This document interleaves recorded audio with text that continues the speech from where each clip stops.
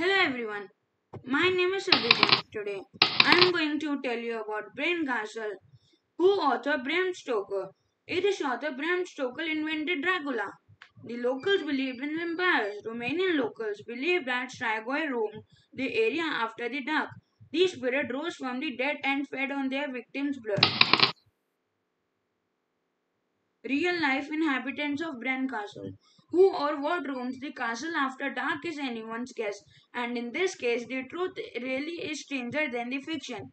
In 1920, the country beloved Queen Mary of Romania received the castle as a gift.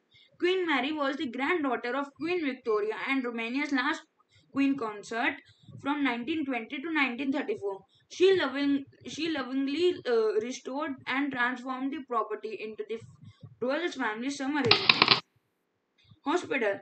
During World War II, Princess Elena put the extensive property to good use. The princess was a qualified nurse and used the castle as hospital to treat wounded soldiers. There is a secret passage. Bran Castle suddenly disappointed with a secret passage connecting the first and third floors. Initially, no knew the passage even exi- existed.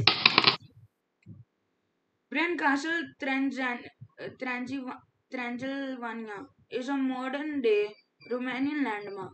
The castle most famous resident of the imagination, but the Dracula legend wonders of Romanian tourism.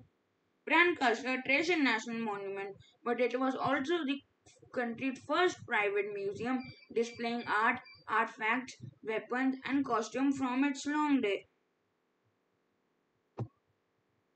Thank you.